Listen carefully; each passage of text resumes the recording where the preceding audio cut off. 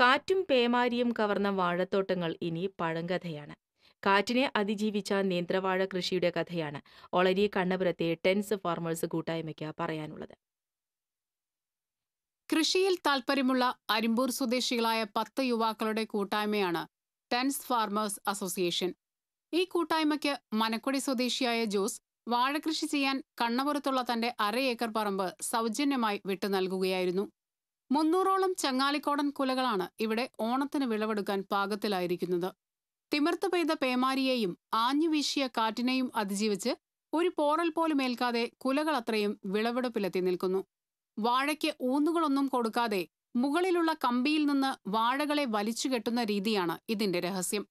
പറമ്പിലെ തെങ്ങുകളെ ബന്ധിപ്പിച്ച് പതിനഞ്ച് ഇരുപത് അടി ഉയരത്തിൽ കമ്പി വലിച്ചു കെട്ടി അതിലേക്ക് ഓരോ വാഴയുടെയും വാഴക്കൈയിന്റെ പുറഭാഗത്തു കൂടി പ്ലാസ്റ്റിക് വള്ളി കെട്ടിയാണ് വാഴകളെ കാറ്റിൽ വീണുപോകാതെ സംരക്ഷിച്ചത്.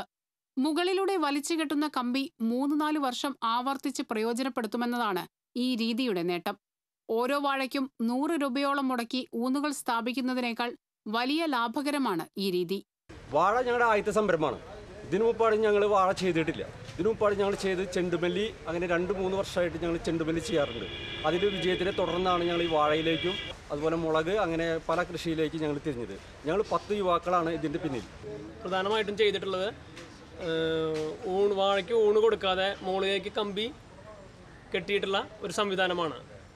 അതുകൊണ്ട് ഞങ്ങൾക്ക് ഈ ഞങ്ങൾ വെച്ചിട്ടുള്ള ഇരുന്നൂറ്റമ്പത് വാഴയിൽ ഒരു വാഴ പോലും ഒടിഞ്ഞു പോവുകയോ മറഞ്ഞു വീഴുകയോ ഒന്നും ചെയ്തില്ല.